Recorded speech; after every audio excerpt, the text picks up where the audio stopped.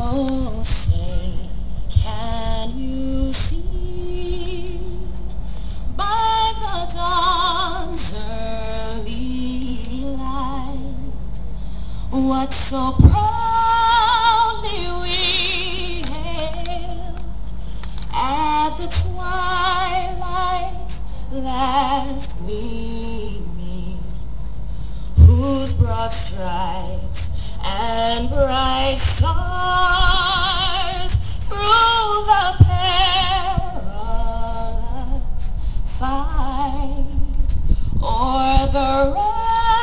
ramparts we watched were so gallantly.